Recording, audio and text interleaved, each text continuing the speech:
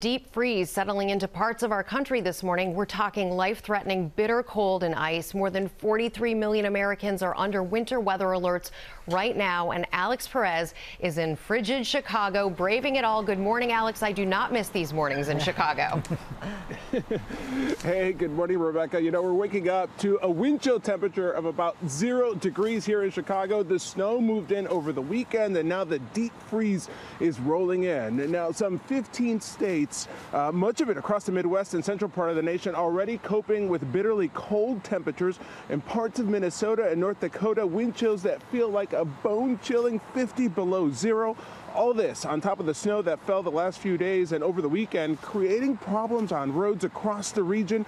In Iowa, spinouts and vehicles sliding off roadways as crews work to clear and salt the roads. And the cold in these areas is sticking around for at least the next few days. But the good news is here in Chicago and a few other areas, the temperature will be back in the 30s by the weekend. Rebecca? You gotta love that, Alex, where we celebrate the 30s right. in Chicago. Thank you for braving it all for us, Alex Perez.